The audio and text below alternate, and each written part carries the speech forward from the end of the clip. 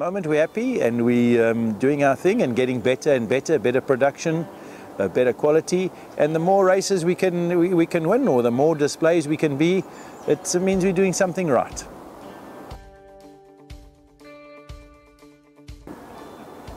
I'm Peter Bailey and uh, my business is Bailey Cars and we're based in Johannesburg in South Africa and uh, we manufacture uh, four of the most famous sports cars that were ever manufactured. I was, uh, the reason I started Bailey Cars is that uh, I was very passionate about um, these famous sports cars and, and, it's not possible unless you're very, very uh, rich to buy these cars. So there is a market to recreate the famous uh, racing cars of the 60s and 1970s.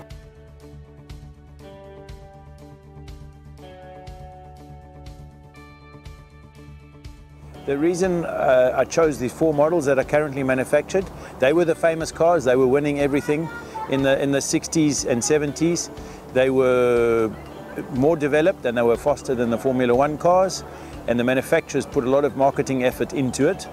And uh, the four models I manufacture is a, a, a recreation of the Ford uh, GT, it's called the Bailey GT, the recreation of the Ferrari P4 which is the Bailey P4 the recreation of the Lola, which is the, the, the, the, the Bailey T70, and uh, the recreation of the Porsche 917, which is the Bailey 917. When I start uh, a new project, and I haven't for a long time because it's a very, very big undertaking to start a new model. And uh, so what one does, you start with research on books, you start with maybe some drawings, maybe some blueprints that are available, and uh, it probably takes about three years to develop a new model uh, before you can man manufacture the first one. So you have to look and a lot of research and it must be true to detail. Um, currently our production, if, if uh, a customer is requiring a car, is between six and nine months. Uh, before it can actually roll out the factory. It also depends on the detail. Every car is manufactured specifically for a customer what he's going to do with the car. Is he going to race it? Is he going to just display it in a museum? Or he wants it for a road car? So I don't, I don't build stock because I, I make them personally for every single car, for every customer. He needs to know.